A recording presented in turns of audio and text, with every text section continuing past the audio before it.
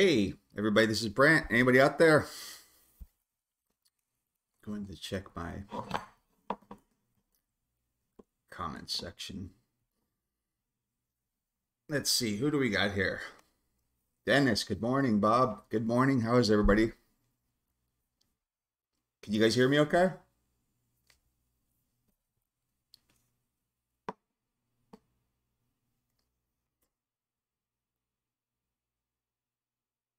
Okay, maybe we'll give it a couple minutes here to let some other people filter in.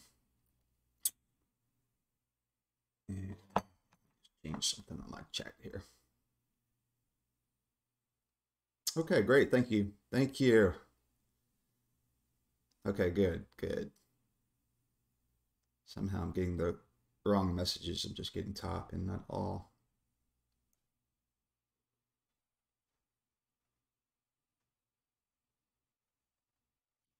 Yeah, it does look like a bull flag on that chart, doesn't it? So I'm going to take my ugly mug off of the screen here and we'll take a look at that. So yeah, S&P 500 just basically a small pullback for the week. Just a little bit over 1%. Do you remember, you know, what happened? Sorry, I'm still fighting with this this little chat screen. Okay. So do you remember what happened last weekend? We were talking about the um, the S&P 500 meeting its measured move at 4150. It exceeded that by a little bit, almost hit 2000. I think it missed that, or almost hit 4200. It missed that by like two tenths of a percent or a tenth of a percent, very, very small. And then we had the uh, NASDAQ 100, and it was the last one, the only one that hadn't hit the measured move there at 12,785, which happened last Thursday.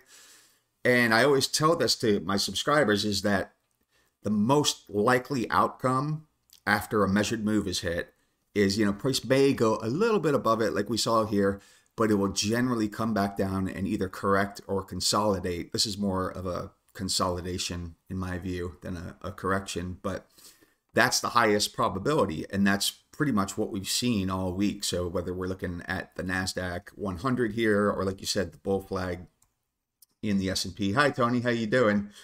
I'm probably uh, a little bit ahead of you guys on the chat here, so there's probably a little delay. Loud and clear. Cool. Thanks, JD. J&D mail. So anyway, yeah, most likely scenario is a pullback. That's exactly what we have. And there's really nothing on these charts that are giving me pause for concern.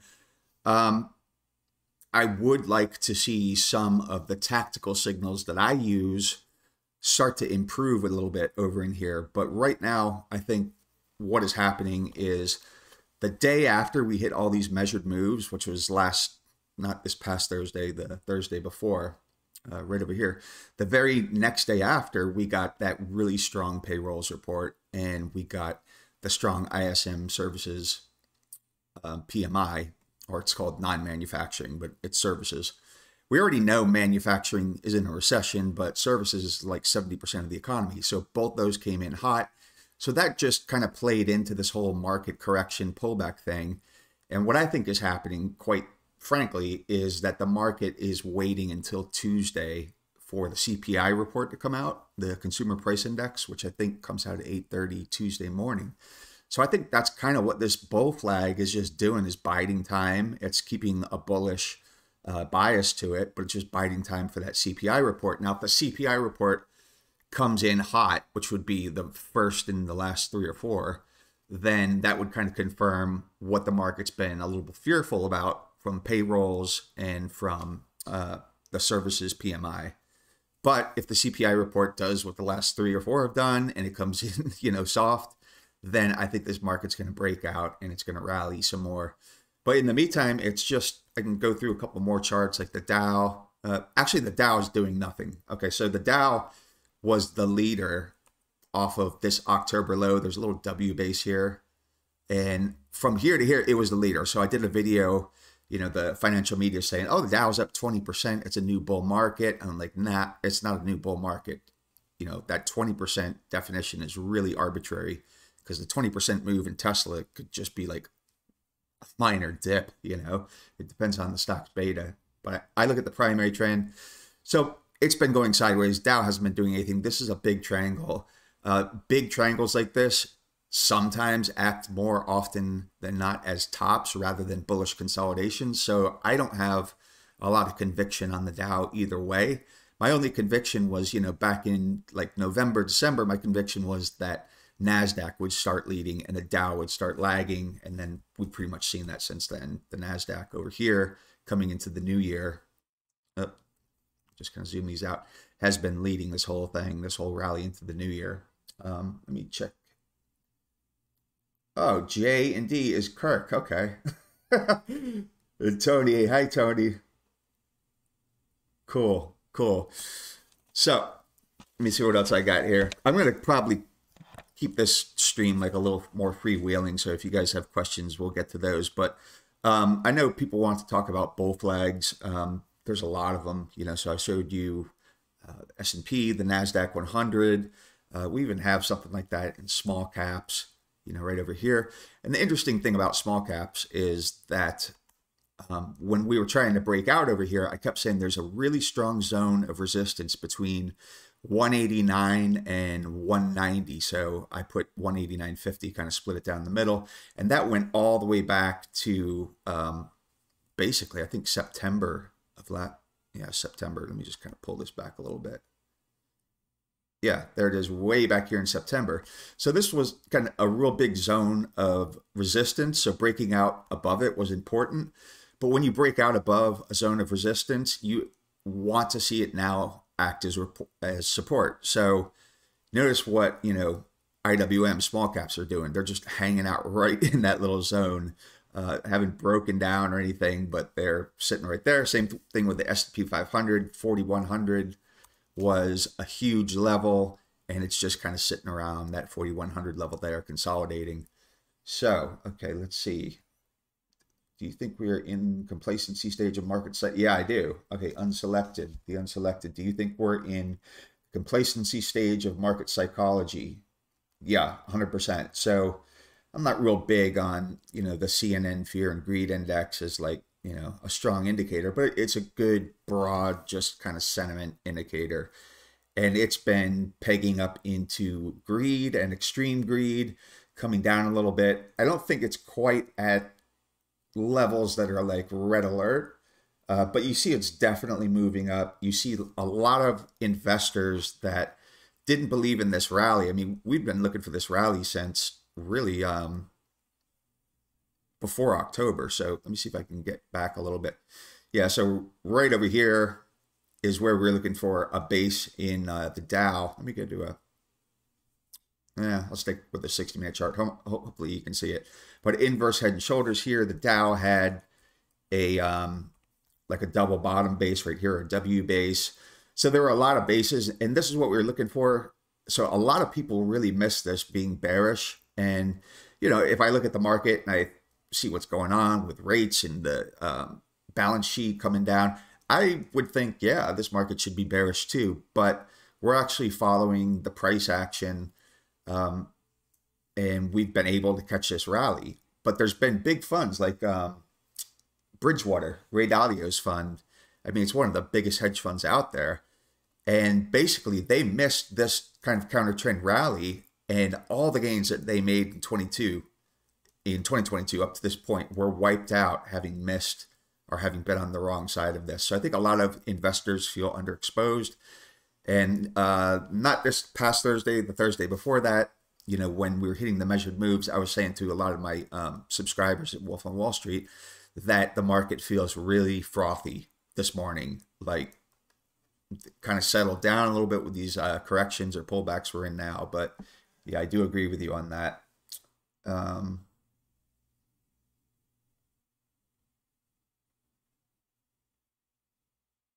yeah, Adam, I agree with you. I think Tuesday morning is going to be a big thing. So again, we're just hanging out in these bull flags for right now.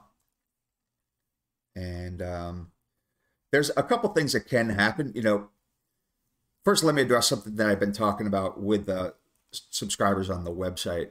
So when a bull flag starts, a lot of times it'll be very small. Like this is kind of how it started over here. and you get like a hint of what's going on. But a lot of times they will broaden out. So what I always do and what I recommend doing is rather than sticking with the trend lines you have and, and basing your analysis off that, you have to always like look at the chart with fresh eyes. So I'll take the trend lines off and let go of that bias of the trend lines that I have on there and see what, you know, where the trend lines are going to capture the most price action. So I do change these as price changes and morphs. Um, and there's nothing wrong with that, but you have to be super objective. So if I'm uh, short S&P 500, then you know I, I, might draw a bull flag a little bit different and go, oh my gosh, that could be you know a, um, a false breakout or a bull trap. So you just you know just very slight adjustments to these change the outlook, especially if it's over a longer period. They change the outlook a lot. You make a very slight adjustment, so it's okay to have your opinion and to be um, you know positioned in the market according to your opinion, but you really have to, you're doing yourself a disservice if you're not being very, very objective with these trend lines. So I want to point out one thing just because I mentioned um, false, false or um, head fake moves. We got one of those back here in the S&P. So I was thinking uh, back here about a week ago that we might be getting a kind of a bull trap and then, you know, price action uh, kind of filled in the gaps more and the trend lines were adjusted. So we didn't have that. But over here, I think the most dangerous time for these consolidations is right when they start to break out or start to break down. So we got a little dip right here. This looks, you know, as it's happening, it looks like that that bull flag is failing, right? So shorts will jump in here. Now, the reason we knew it wasn't failing, or our suspected it wasn't was high yield credit was acting better here. High yield credit was making a higher low, so it was leading. So the bears jump in on this breakdown, and then all of a sudden they get squeezed, and it's that whole concept of from failed moves you get really fast reversals. But those can happen on the upside too. We could have like a breakout here, and then it just fails and comes back down in, and that's a bull trap. So those are the things you really want to watch out for early on in a breakout I want to see breakouts really definitive. I mean, really move through that strongly, see volume pick up. Volume should be falling off here and then picking up on the breakout.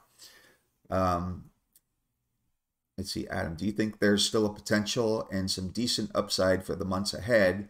Because as we know, when the yield curve is inverted, this could be a good time for stocks.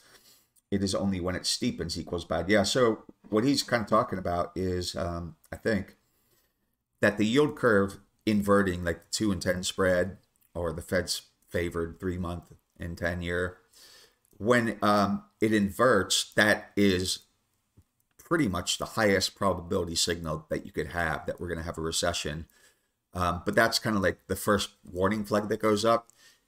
Then after it inverts it steepens sharply and that's usually when you start to enter a recession. That kind of sharp steepening is usually because the Fed is cutting rates at that point. But um, I think the reason I think, and let me switch over to a different program. Actually, let me let me cue it up first, and then I'll switch over to a different program, and I'll show you what I've been seeing. And this is what we were calling for too towards the end of last year was a rotation away from the cyclical stocks that had really been leading the rally and two, the mega cap stocks that were like the biggest stinkers last year that did the worst because it looked to me like the market's in this phase one of celebrating um, basically peak inflation, peak Fed hawkishness. I think phase two is the market starts to come to grips in reality with the bill coming due for having fought inflation, which is a recession. So the market is really like right now, a lot of the retail they're jumping in, they're kind of buying into this soft landing narrative, which is that the Fed can kill inflation by hiking rates and uh, cutting their balance sheet, but we can just narrowly avoid a recession.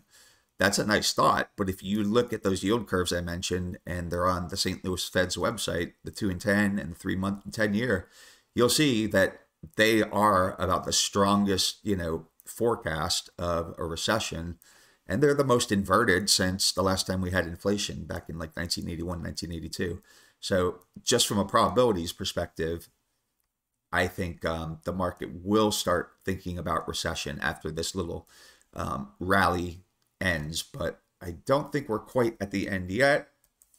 What I want to show you, I'm still queuing this up. I was talking too much.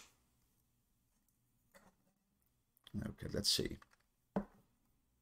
Scale it. So what I'm going to show you is just some equal weight indexes that I have, that I've made. Let me queue them up.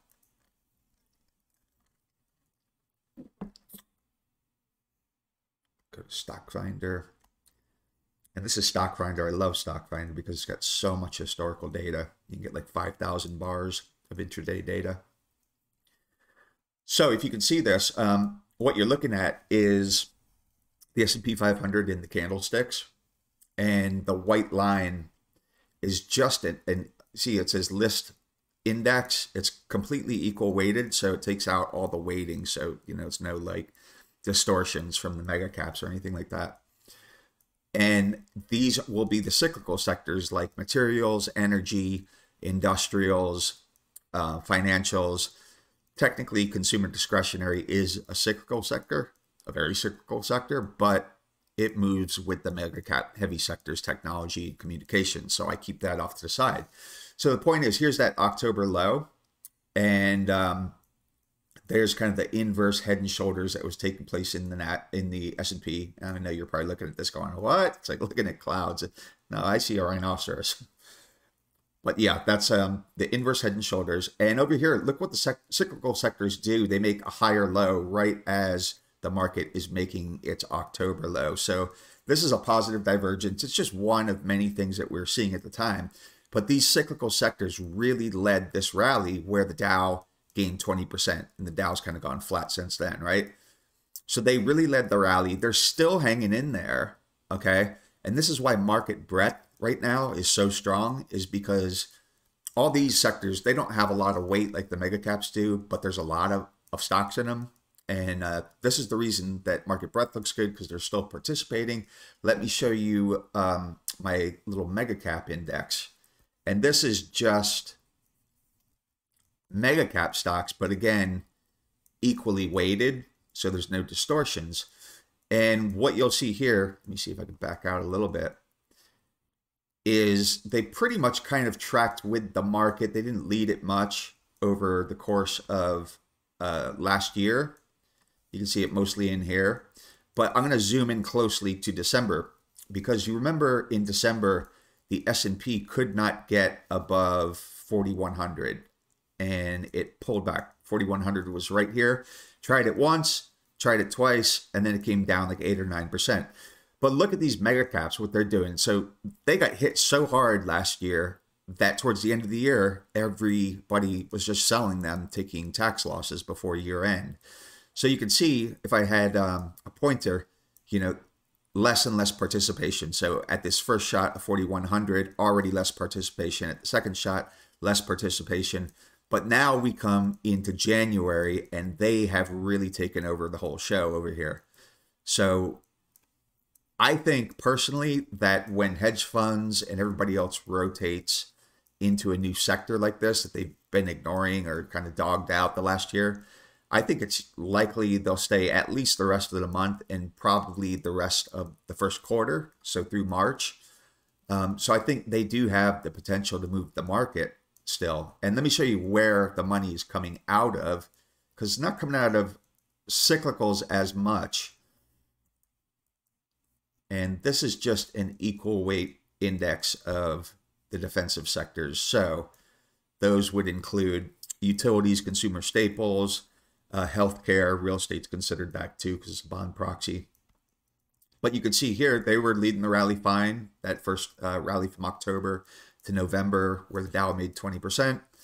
But if you look over here, they're like starting to really lag, especially recently. So my thing is I, I, think the money is rotating out of these defensive sectors and into uh, the mega caps, which speaks to a question asked earlier. You know, are we in the complacency phase? So what you're seeing here is investors becoming um, more willing to take on risk. They're starting to chase the higher return stocks that haven't performed well. So there is a shift in market psychology. And when everybody's on the same side of the boat, that's usually when they're wrong and, and the boat flips. So I don't think we're there yet, but I do think, like what you said, I think it was Adam or the unselected. Yeah. Yeah. I, I think we are getting frothy. So I'm going to take a look at these comments again here. Oh, sorry.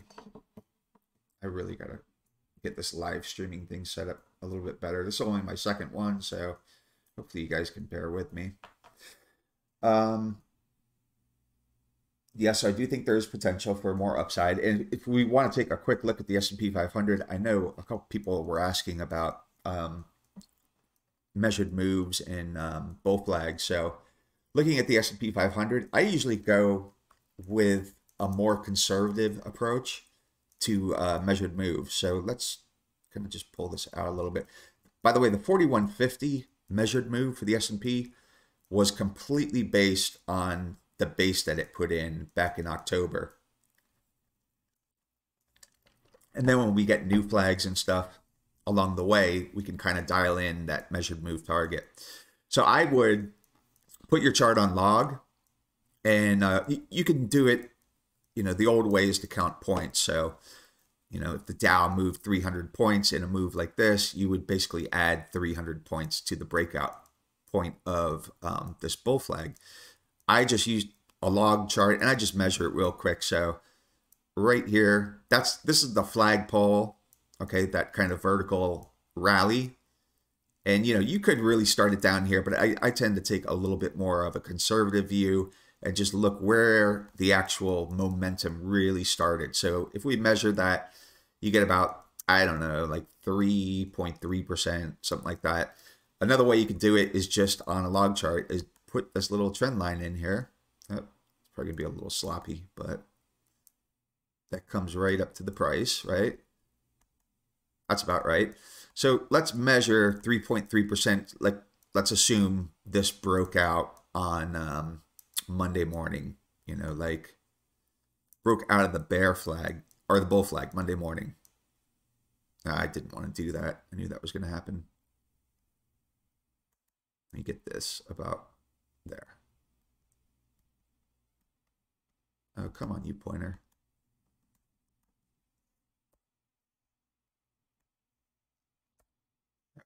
Hopefully this works without me destroying this flag. So anyway, let's say about 3.3%. That's right here around um, 4270. You can kind of do the same thing with this little guy. Put it here right at the breakout. And, you know, I didn't draw it perfect, but 4270. So, but you have to have it on a log scale. So you're looking at the percentage move. And I got to tell you, I have seen this for years and years and years but every time I see a measured move hit, I'm just stunned. I mean, when the NASDAQ hit its measured move, let me get rid of some of this junk, at um, 12,785, I mean, the first time it hit it on that Thursday morning, it literally hit it like to the dollar. Then it moved up a little bit above and then came right back down, closed pretty much right at that measured move. So it's amazing how well these measured moves work. But the thing you have to remember about, you know, we call it technical analysis, and it is technical, but price action at its core is simply a reflection of mass human psychology. So these price patterns that were working, and I've gone back and I've looked at the Dow from like 1916, and that's where all these price patterns came from. There were a lot more of them back then when central banks weren't like squeezing the volatility out of the market. But there's a reason that they've worked for over a century. If you look at Japanese candlesticks over many centuries, it's the reason is is that price is a depiction of mass psychology or mass sentiment and human psychology. You know, the two things that drive price, fear and greed, don't change. So this is the reason that when you see these, whether it's on a big daily chart or whether you're day trading on like a one minute chart, you see them, they work. They're, it's like fractal. They work. It's just a depiction of of human psychology. So but still, it, it's really amazing to see you know these measured moves hit like to the penny sometimes. Um, looking at the comments. I don't want to miss anybody here, but I'm lagging you guys a little bit. Okay. The unselected, what percentage or prob of probability and overall weight in your analysis do you give the trend lines? If you have them drawn correctly and objectively, you know, because we do have, you know, a lot of subtle biases, even when we think we don't, we think we're being really objective. You always have to check yourself. But when I see, let me put it this way when I see so many bull flags, right? So the NASDAQ 100, the S&P 500, the Dow transports, the small caps. Um, you know, when I see so many of these, I give that a lot of weight. So my indicator 3C, people always like, what is C 3C stand for? So three C's compare, compare, compare. So for me, the more confirmation I get, the more of these kind of uh, bullish consolidations I'm seeing, the higher probability I put on it. So last week I was saying, you know, my, you know, to my subscribers that I'm at about 80%, 75 to 80% that we make a next leg higher. And that may not sound like a lot, but that is a lot. And it would move up even more if the kind of market signals that I watch, the market signals that I'm talking about, some of them are indicators, some of them are just how like semiconductors act against the tech sector they almost always get weak right here at the start of a consolidation. And then towards the end of it, they start leading out of it. So that's the part I haven't seen yet. And I think that's just because of this whole CPI thing on Tuesday. Uh, a few signs of those. But in any case, um, another thing I want to do was go through S&P sectors and show you uh, what's going on there too. But let me just check these other comments. Brandt. Okay, Tony. Brent, do you have enough info on the consolidation to determine a possible measured move? Yeah. So I, I think NASDAQ has the most potential. So, you know, it's looking at probably, you know, that's almost almost 7%. I think it has the most potential because it's the one that's rotated in uh, with the start of the new year. And you'll see that when I go through the S&P sectors. Let me just check other ones. Wrong scene. Wrong scene. Somebody said wrong scene. Do I have the wrong scene up? Oh, sheesh. Gosh, darn it. I am so sorry. I told you I'm getting... I can't believe that. It looks like mission control on my computer here. All right, anyway, so bull flags again, real quick. So bull flags NASDAQ, bull flags S&P 500, bull flags Dow 20, bull flags IWM, Hopefully you guys are seeing this, okay? Um, and measured move, I think NASDAQ 100 has the most upside. So again, I was talking about measured move on a log chart. I just do it with this little pointer. And over here, you'll see the box. So the measured move here, up to the top of that, is about, I mean, we can call it, it, it depends on how aggressive you want to be with it. I tend to be a little bit more conservative. So where I see the strong momentum first start. So let's say 6.4% you add that onto the breakout here for the NASDAQ 100. And just to recap real quick, what I was saying is you could also draw a trend line on the chart, on a log chart, and you can use that. So when we do get the breakout, you just put it wherever price actually started to break out. Okay. And that gives you your measured move right there. But that has to be on a log chart. So I'm really sorry. Oh my gosh, I feel horrible but we will go through some other charts that um, okay short amd targeting 60 you can see the chart lost audio i still have audio completely frozen does anybody hear me and have the charts right now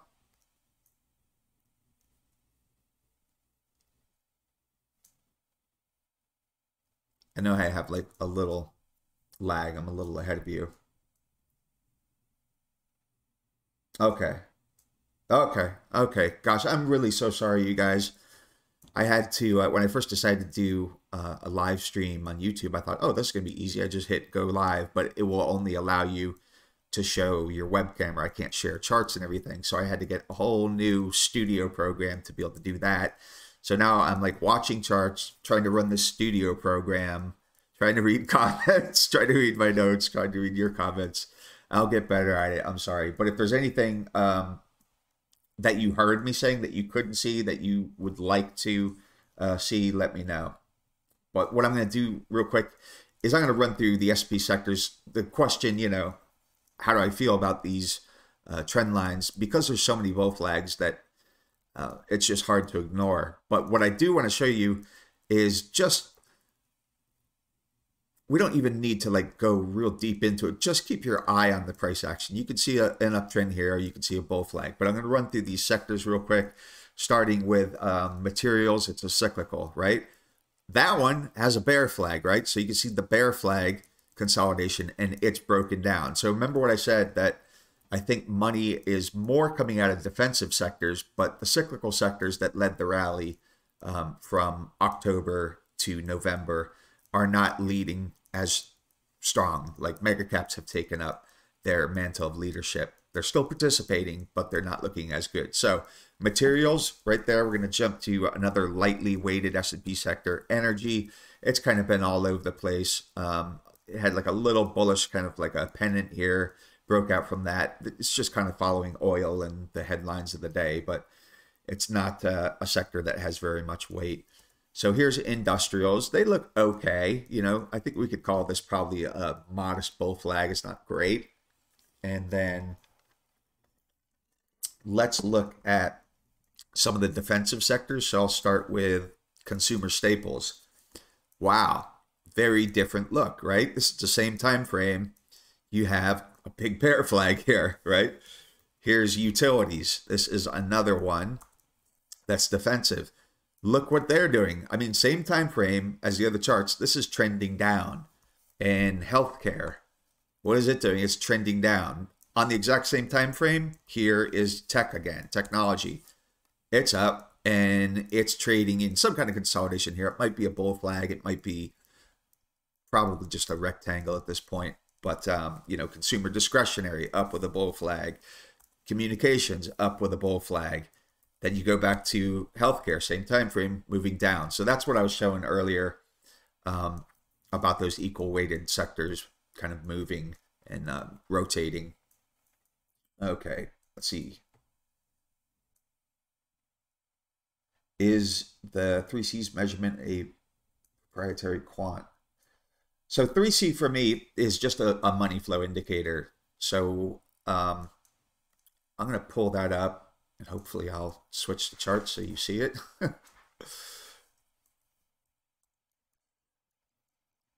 and um, here we go. Switch the charts in just a second. So I got that pulled up, transition, and you should be seeing it in a second. So what I noticed was in um, December, this is a five minute chart, which has been doing a pretty good job reflecting kind of like the sub intermediate trend, like kind of the rally off of October's low. This is that really, really dull two or three week range in December in the averages where everybody's just on vacation. So there was some slight improvement in 3C right over here. Um, since this rally into the new year, there's been pretty good confirmation. But you can see right here as we hit the measured move target at 4150 for the S&P 500. Remember, we're looking at SPY. Um, you can see a non-confirmation. So this is typical, something you would see uh, right before you go into a bullish consolidation. But let me show you QQQ's chart because it had been like the dog of last year, and the mega caps were the dog of last year. They saw quite a bit of improvement into December over here. If I had a, a screen draw tool, I, I would kind of draw this upward trending line while the price range is flat and then just started this is really heavy money flows going into it. But again same thing we hit the measured move right here and it doesn't confirm 3c doesn't make a higher high. This is not a concern for me. This is exactly what I expect to see when um, we move into a consolidation phase. And over here, you know, it got a little bit hairy towards the end of the week, but came back up. So I, I don't see anything on this chart right now that tells me anything other than we're in a consolidation phase. Um, but I'm not seeing, you know, the strong kind of buying that starts usually around the second half or right before the flag breaks out. I'm not seeing that uh, quite yet. I am seeing a couple things in like um, high yield credit is starting to show a little bit of improvement recently. So this is like a, a two minute chart. So over here you can see no confirmation, high yield credit dumps. This is because over this period, this is the payrolls period. So yields have shot higher and the market has basically um, priced in like a little bit more aggressive Fed terminal rate. So high yield credit is one of my favorite indicators because institutional traders use it as a proxy for S&P futures. It's very, very deeply liquid. So sometimes um, you get a window into what institutional traders are doing when high yield credit diverges with the S&P. But when you see this kind of thing, you also have to be aware that high yield credit is very rate sensitive and you get a 20, 30 basis point move in rates up, uh, high yield credit is going to come down. But over here, I'm starting to see what looks like some buying start to filter in. So ideally, what I would like to see, um, let me see what the best way to show you this is. Let me try, I don't know if that, without jumping into a whole nother program that I don't have set up. But let me just see if I can do it on TC2000. And then I'll switch the screen and share it with you guys.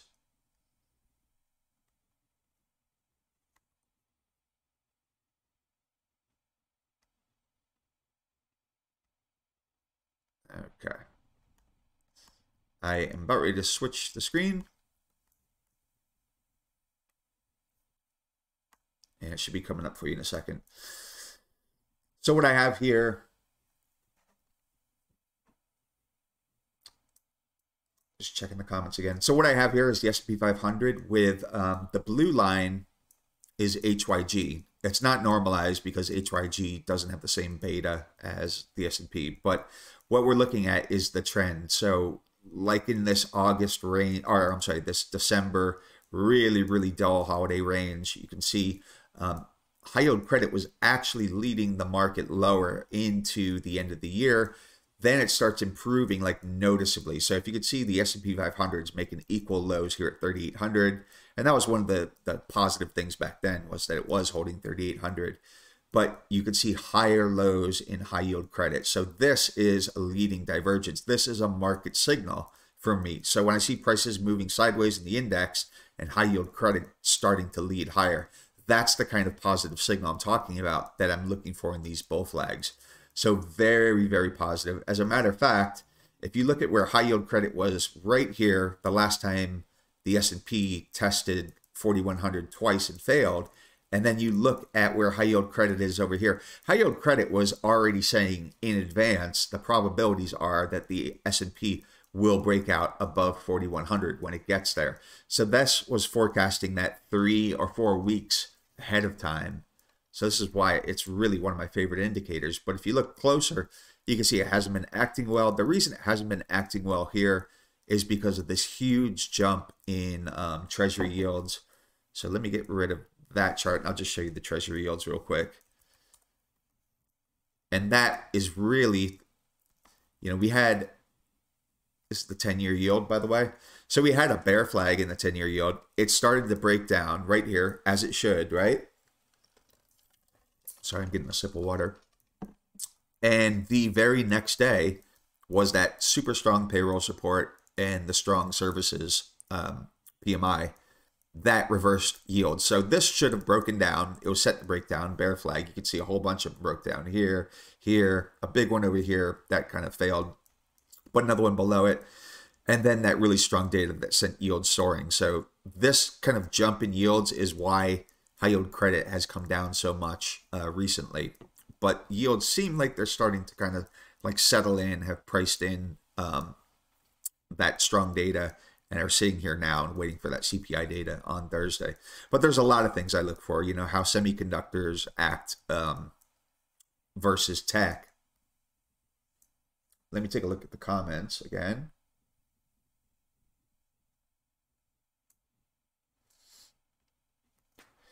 Okay, so uh, do you mainly stick with index or sector ETFs when trading? And do you use options? I, I do use options. So I prefer, well, let me just say this. You guys have quick, like time for like a really quick story? it's really quick, hopefully. So um, when I first got into the stock market in the late 90s, I, I started with fundamental analysis. Like technical analysis really wasn't. I remember people calling it voodoo analysis and saying like, "Oh, how are a bunch of squiggly lines on a chart going to tell you anything about what a company's worth or what it's going to do?" So I started with um, fundamental analysis. You know, looking at cash flows and PEs and you know the balance sheet and all that stuff. And there was like this method where you could kind of grade a stock, and I found one, this stock Troy Group they were working on Bluetooth for Hewlett Packard at the time, and they got a 98. And you, you know, you watched IBD, Investors Business Daily. I don't even know if they're still around. Their rankings and the stock ranked really high. I mean, it looked really good at the time, and I bought it. Didn't know anything about technical analysis. I can't remember what I bought it for, but let's say 45. Then a couple of weeks later, it's trading at 40, and you know, this is one of those those things where you're like, oh well, if it was a deal at 45, it's got to be an even bigger deal at 40. Let's buy more. bad, bad way to go. Um, and then you know it's dropping more at 35, and I'm like, what the heck? Looking at the news, there's nothing going on with the company. I start looking at more stocks. I'm like, what? They all these stocks are going down around March of 2000. What is going on here? that's the first time I kind of really got into technical analysis. And I looked at the chart and it's like, oh, wow, we're just entered a bear market.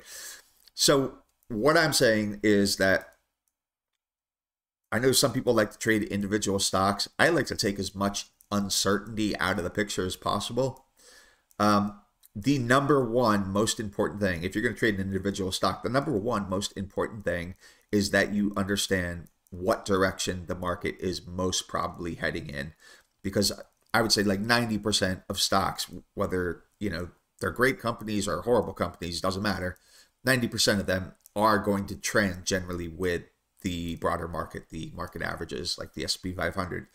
And then the next strongest influence on them is what sector they're in. So, like I ran through those um, sectors, right? Let's see. That's materials. Not looking good with a bear flag. Another cyclical energy. It's okay, but it's not doing fantastic. Financials, again, not a lot happening. You look at the defensive sectors trending down. That's uh, healthcare, utilities, right? Um, there's consumer staples. And then you look at something like tech, which is in a bull flag or a bullish consolidation. Uh, consumer discretionary, uh, mega cap heavy sector, right? So this is why it's really important to know what sector you're in and how these sectors are performing. So at the start of the year, these mega cap sectors, the communications, the consumer discretionary tech, they rotated in. So if you have been like long a healthcare stock, you're not doing well right now because healthcare is getting killed. So first you want to know what the broader market's doing, then you want to know what the sectors are doing, and then pick a stock. So the stock picking should be like the last thing. Most people make it the first thing. Um, but I try to take as much uncertainty out. So when I deal with, um, you know, trading stuff, I'm more apt to trade the index, you know, or let's say SPY or one of the uh, ETFs, leveraged ETFs, or sectors so when you get down to the granular level, the stocks can move a lot more, of course. But then you have, you know, the, the CEO just get fired. This happened. There's just a lot more uncertainty, earnings, all that stuff. So I like to try to take out as much uncertainty as possible. But you know, that doesn't mean that's the right way for everybody. You know, if you're like, uh, uh, you know, you work in AI, you know, you might be really qualified to pick the best AI stock, you know. So everybody has different strengths and weaknesses, but yeah, sometimes I use options, but generally speaking, I always get killed with options, you know. I never go out long enough. It, it's just I'd say, you know, a majority of the time the people making money are on options are the ones who are selling them, they're writing them, not the guys who are buying them, but um I'm going to look at the comments again here. Are you concerned much by the rise of bond yields lately in terms of this rally? Yeah, so the, the rise in bond yields, again, is just the market was thinking one thing uh, that inflation has peaked, and then it got that big surprise on uh, Friday. What was it? The third. They got that big surprise in the payrolls report, uh, which is a bunk report. I mean, it's politically goal seeked. It's right now they're pretty much guessing, you know, majority of the report because they're not getting enough respondents, so they're modeling it. Um, but yeah, that's caused the, the rise in bond yields. I think they have now priced in um, that stronger data. So I think they brought the Fed funds terminal rate up to 5.11%, which is, you know, it's made a big jump. So that's why bond yields have moved so much. I don't see them moving a whole lot more unless the CPI really surprises and it comes in hot and people start worrying about um, resurgent inflation. There's always going to be noise in the data, just like there's noise in the trend. You know, I mean, the trend here is up, but you do get, you know, dips. You do get corrections. It's the same with um, financial data or economic data. So um, you can get three or four weak CPIs, then one strong one. It doesn't mean that the inflationary trend is not rolling over, but the market is not going to react well to that. So, um, and like I said, that's really what's been killing like high yield credit. I mean, look at the comments again. Yeah, this could happen and change a lot on Tuesday with that CPI report. It's either kind of going to say, oh, yeah, there is something there. We've gotten like a bump in inflation, or it's going to go the other way and just keep confirming what it has been, which is pretty much in my view that inflation started to roll over in June, which is really apparent in commodities. Um, the strong unemployment data may in part be due to the legal immigrants employed uh, without higher wages. That look that data report or, or unemployment report has had so many quirks and so many. I really don't trust it at this point, but you know, it's what the market has, and the market is going to react to it. Um. Oh, okay, yeah.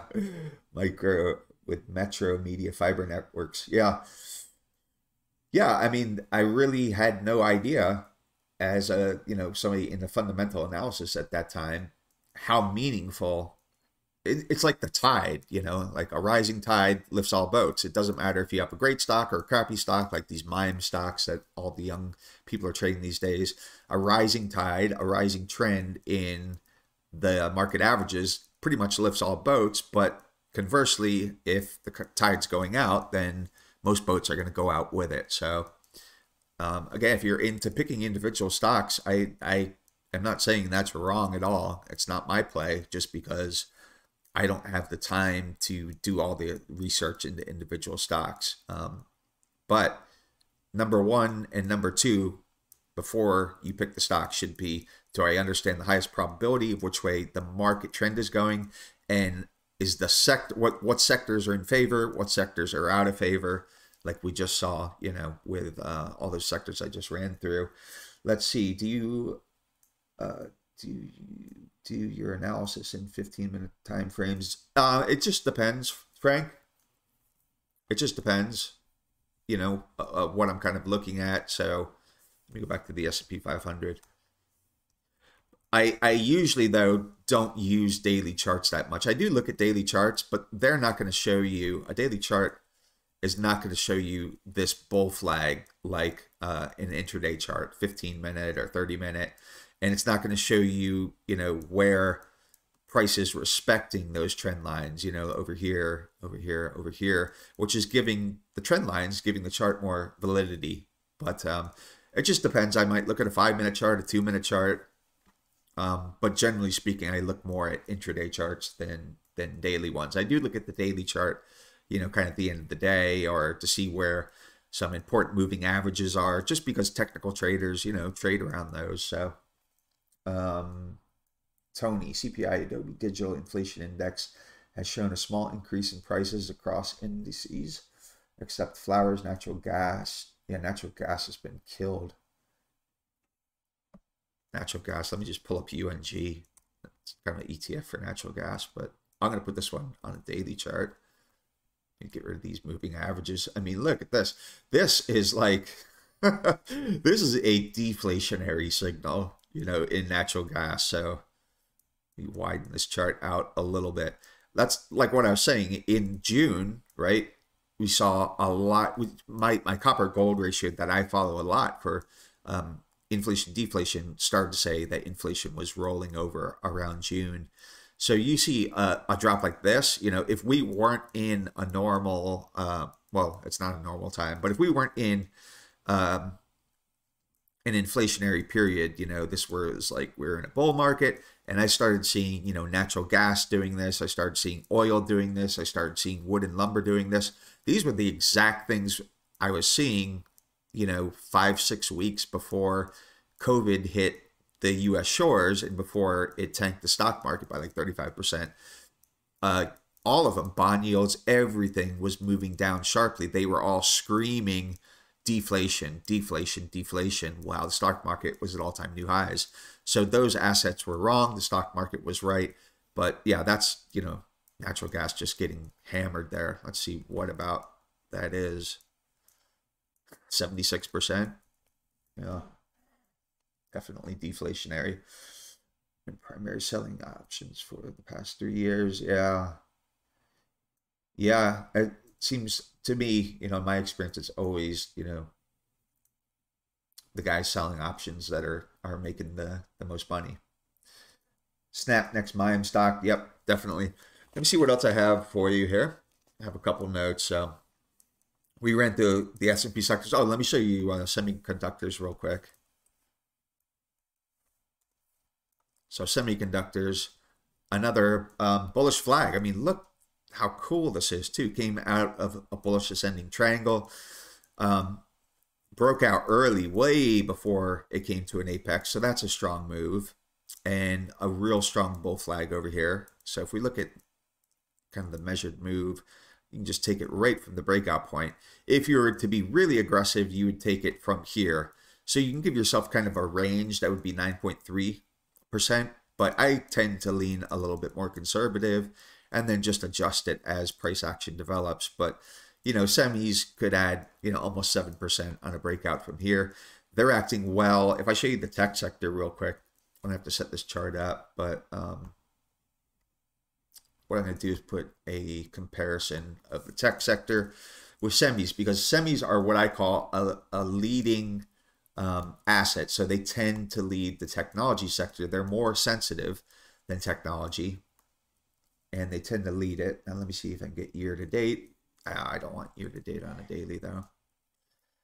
Well, I'm going to do this by hand. So this is this chart is normalized. And there is about the third. Let's see. There's about year to date. So this chart is normalized. So they both start at the same point. You can see semis are leading the technology sector this whole year. So this is a leading signal, but I would also look at this on a short-term time frame. So if we're looking at you know these consolidations over the last week or so, you can see semis um, right here. You can see them leading higher right here. So higher lows, higher highs, and kind of just going into consolidation over here, and they're leading a little bit lower right here. So these are some of like those market signals I was talking about that I'm looking for, whether it be high yield credit or like how semis are performing against tech. So if semis started to lead tech over here, I'd say, okay, I think we're getting close to these bull flags breaking out. Um, same thing with high yield credit. There's uh, transports tend to lead the Dow Industrials. Um, small caps, IWM tend to read to lead risk sentiment. So there's a lot that you can actually use. High yield credit again is just HYG. It's one of my favorites.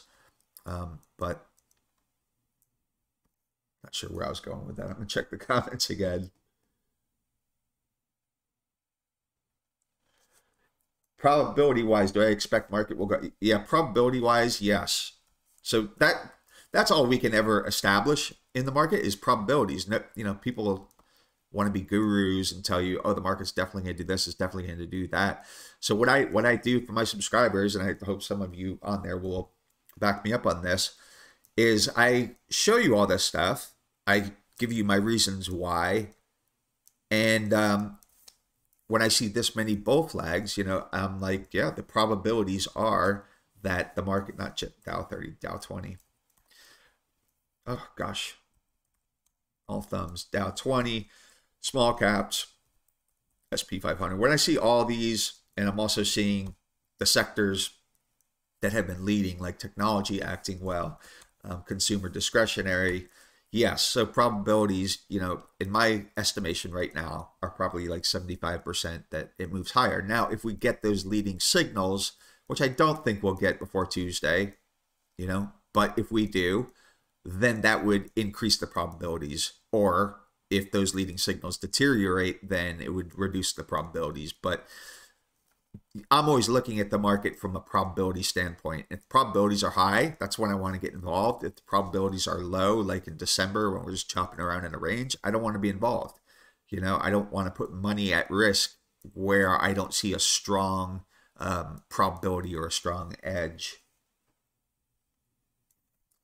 Okay, so what else did I have for you? Oh, let me pull one other thing up. I'm going to show you um, how the yield curve, the 530 yield curve, is acting relative to the banks.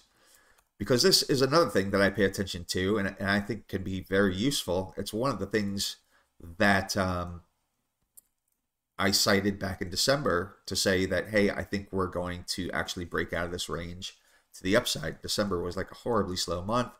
Um, I'm going to transition and hopefully you'll see StockFinder pop up in a second.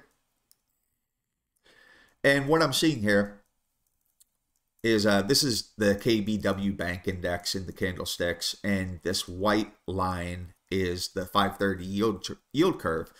So steepening.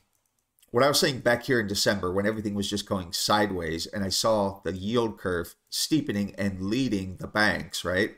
The banks tend to be most sensitive to it because if you think about it, um, you know, some a lot of their money is net interest income. So when, uh, well, let me say this a different way: they borrow at short-term rates and then they lend at long-term rates. So when you have a yield curve steepening, their net interest income looks better. When you have it flattening, they're paying more for the short-term rate and they're getting less for the long-term rate. So when I saw this, I said, I think this is really bullish for the banks. I think the banks are going to break out. They're going to head up higher. And, but I don't think that the banks are going to do that without the broader market. So I think this is a bullish signal for the broader market as well. And you can see it did lead, but it also led right into this consolidation that we've been in. And, you know, this to me is not like a horrible chart. It's not like, okay, you know, everything's falling apart, but it's something you want to keep an eye on. Let me see if I can go out a little bit longer on this. You know, we've had we've had worse signals than that, but um, yeah, this yield curve tends to lead the banks. And when you see strong signals like we saw in December, it's really hard to ignore those and think that they're not going to uh, be a part of how the broader market acts. I keep the wrong time frame. You know, leading banks up here, kind of leading banks are down here. So banks wouldn't be, um, if I'm if I'm trading over the next month or two, banks wouldn't be my first choice because they've got this downside pressure of the yield curve kind of pulling them lower. And as we already saw, you know, the cyclical sectors aren't doing, I mean, flip back to uh, StockFinder, or I'm sorry, um, TC2000. So the cyclical sectors, you know, aren't doing as well. Like materials there with a bear flag, uh, energies kind of just a little bit all over the place. Uh, financials, you know, not bad, but it doesn't look like tech. It doesn't look like consumer discretionary with a bull flag. It doesn't look like communications with a bull flag. It doesn't look like semiconductors with a bull flag. So, you know, to answer an earlier question, when I see, um, let me flip back to um, the last chart we were looking at.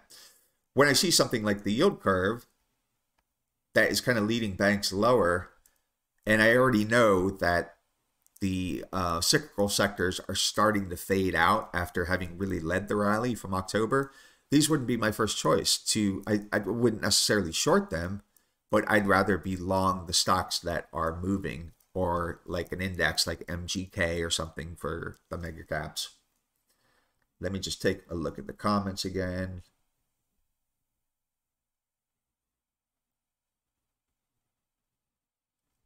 Do I have any stock? I, I try not to make st stock recommendations. I, I try. Uh, okay, so here's what I found. I've been doing this a long time, uh, especially with the website. What I found was um, I could give the same exact trade to 10 people who are subscribing and following, right? And I could walk them through every day exactly what I was doing. And at the end of the period, there would be 10 completely different results from people making money to people making about the same I made or lost the same I made to people uh, either doing much better, much worse, but they all had the exact same information. The thing is, like with a lot of these like stock gurus and stock picking services, they have a system that works for them. You have to find a system that works for you. So if somebody says to you, hey, XYZ stock is going to do great, it's going to go up, blah, blah, blah, blah, blah.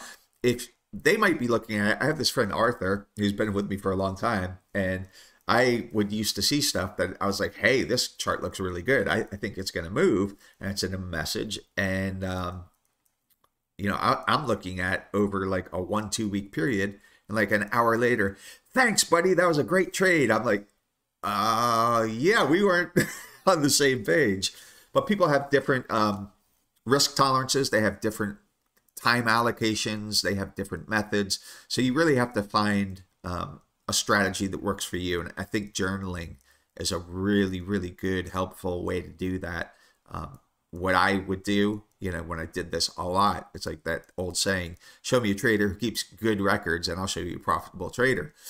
I would write down as much as I can in my journal about what stock I entered or, or index or whatever, why, how I was feeling. Was I having a crappy day? Was I having a good day? Was I like super bullish? Was I nervous? But everything I could put down and then I would leave it alone and move forward to the next one.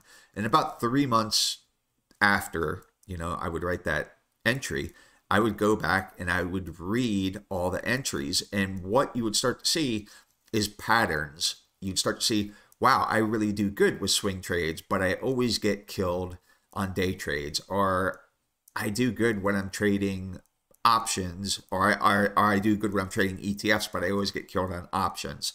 Um, you see these patterns and then you can kind of uh, just kind of work to optimize the things you're strong at and then either negate or don't do the things you're not good at or put some effort into fixing those but we all have our own individual um, trading style and you really have to discover it so like when i see these guru services that are saying oh you know i made $5 million they're not telling you about the 90% of the people that lost money you know and it's not because they I'm not dissing the guru services. I'm just saying to treat every person as the same with trade ideas or um, it, it's just it doesn't work. I've seen this. I've done it. It doesn't work. But I do like the market averages still. So I'm still bullish on those. I'm going to transition um, back to uh, TeleChart or, or um, TC2000. I just gotta fit it to the screen. Okay. Let me see if there's any. Uh, yeah, thanks, IP man. Just reading the comments here, guys. Uh, the platform that I was using to show uh, the yield curve and the bank index is StockFinder. I'll pull that up again for you real quick. The reason I love StockFinder is that, um, hopefully you can see it, that I can get 5,000 bars of intraday data And that means a lot to me when I'm really trying to track trends over um, intraday charts. And that's the thing I hate the most about Thinkorswim is that I can't get more than a couple days on on a single time frame. Um, having system key. Okay, yeah. Let me see if I have anything else for you guys. Um, equal weight stock sectors. Yeah, I showed you those. The market, yeah, right now is just it has been kind of rallying on this pivot notion or like the Fed step down. You know, the market's kind of been front running the Fed, but now it's starting to turn into more of the psychology of a soft landing that you know the Fed can raise rates, you know, by 500 basis points and drain its balance sheet by whatever trillion dollars, and um, that that's going to have no effect on uh, the economy and we'll have a soft landing. So all those things can happen, and we will not go into a recession.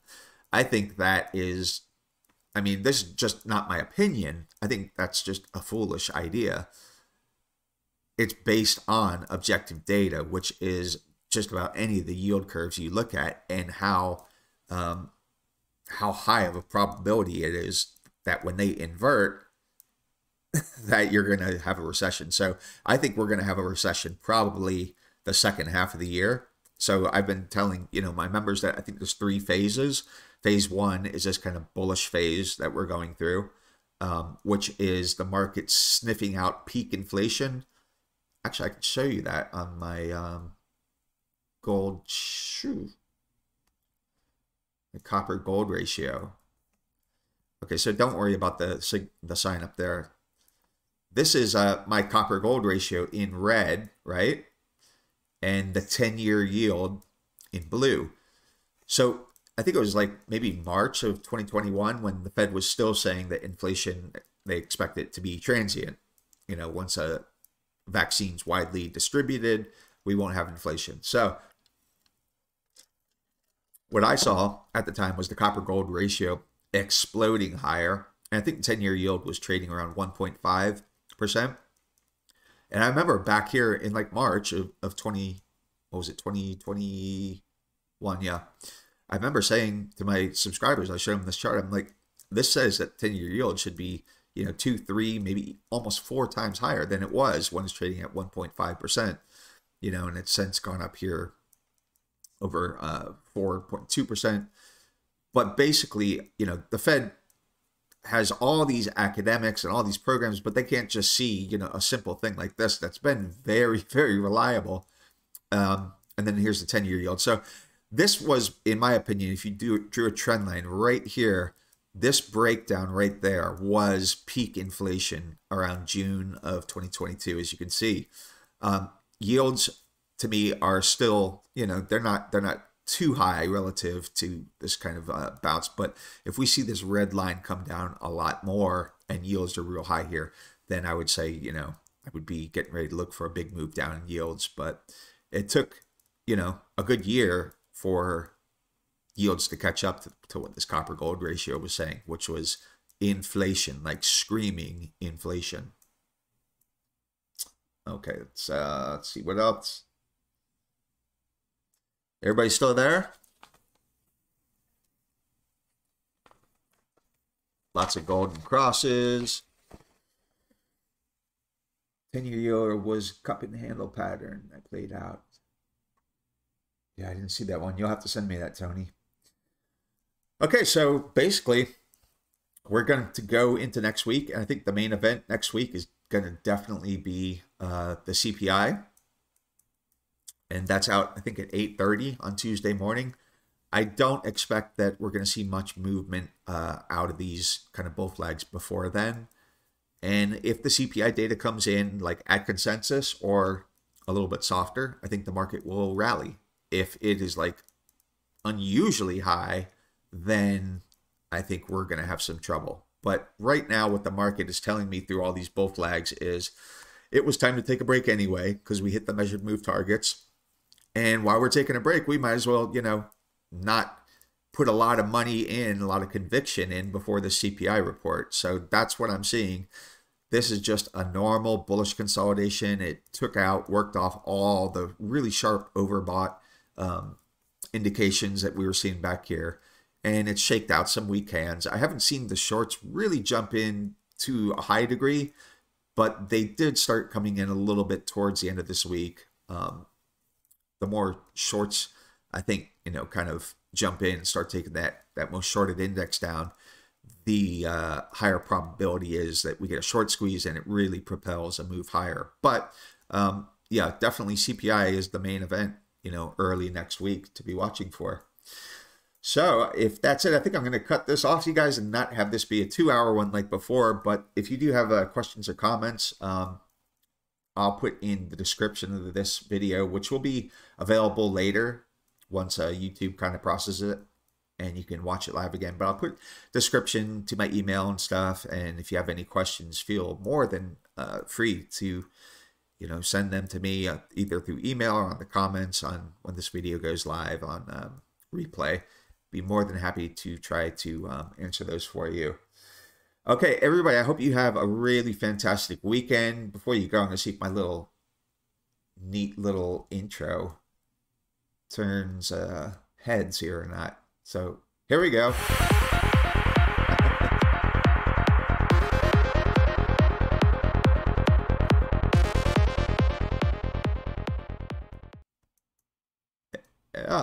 Okay. So thank you everybody for joining me.